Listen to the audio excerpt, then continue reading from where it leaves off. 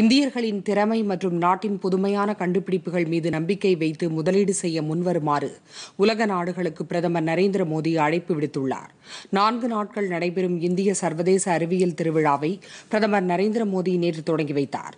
இந்நிகழ்ச்சியில் பேசிய அவர் அறிவியல் ஆராய்ச்சி தொழில்நுட்பம் புதிய கண்டுபிடிப்புகளில் இந்தியா முன்னோடியாக திகழ்வதாக குறிப்பிட்டார்.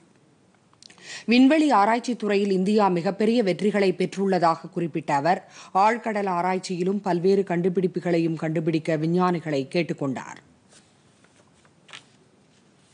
एजुकेशन सेक्टर में जो ये बदलाव किए जा रहे हैं इनको कॉम्प्लीमेंट करने के लिए अटल इनोवेशन मिशन भी शुरू किया गया है ये मिशन इंक्वायरी को एंटरप्राइज को, इनोवेशन को एक प्रकार से सेलिब्रेट करता है।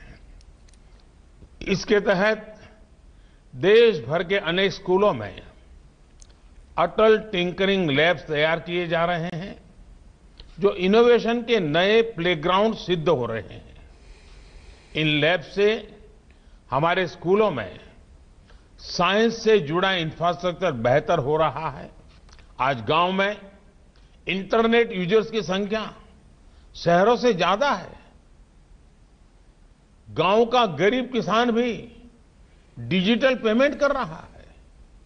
आज भारत की एक बड़ी आबादी स्मार्टफ़ोन आधारित ऐप से जुड़ चुकी है।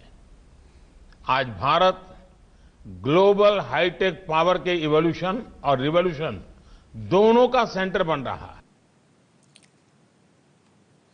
மத்திய அறிவியல் தொழில்நுட்பம் மற்றும் புவி அறிவியல் துறை அமைச்சர் ஹர்ஷ்வர்தன் உள்ளிட்டோர் இந்த நிகழ்ச்சியில் கலந்து கொண்டனர். நாட்டு மக்களிடையே அறிவியல் குறித்த விழிப்புணர்வை மேம்படுத்தி விஞ்ஞான பங்களிப்பை அதிகரிக்கும் நோக்கில் ஆண்டுதோறும் மத்திய அரசும் விஞ்ஞான் பாரதி அமைப்பும் இணைந்து இந்த அறிவியல் விழாவை நடத்தி வருகின்றன